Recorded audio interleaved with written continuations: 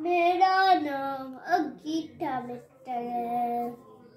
मैं नृत्य में पढ़ती हूँ।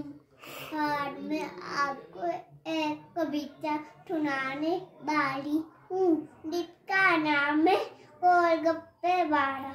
देखो देखो, गोलगप्पे वाला आया।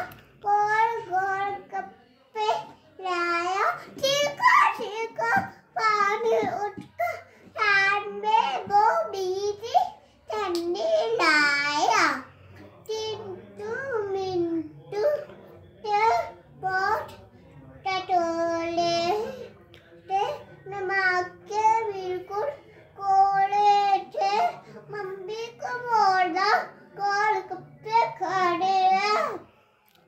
मम्मी ने बोला अगर तुम गोल गप्पे खाओगे तुमको मिट्टी लगेगी बात को पलटाओगे